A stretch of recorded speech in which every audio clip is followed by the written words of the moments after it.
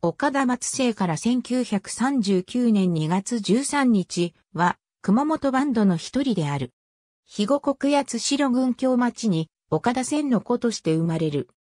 熊本洋学校在学中の1876年に花岡山の法教の決命に参加する。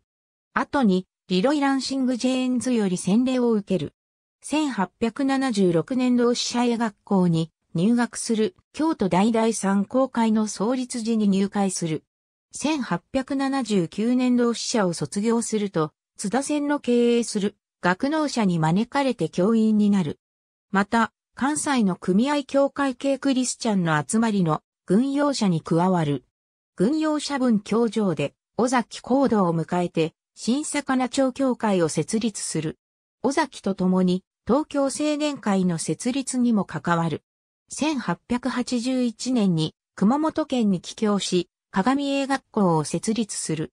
1884年より熊本県会議員として県政に関与する。